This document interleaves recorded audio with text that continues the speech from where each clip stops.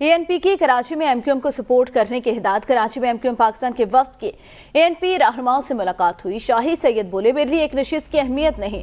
हम एमक्यूएम का वोट खराब नहीं करेंगे बल्कि उन्हें मुकम्मल सपोर्ट करेंगे। मुस्तफ़ा कमाल का शाही सैयद से इजहार तशक्र बोले आज एक तारीखी लम्हा है और तारीख इसको याद रखेगी।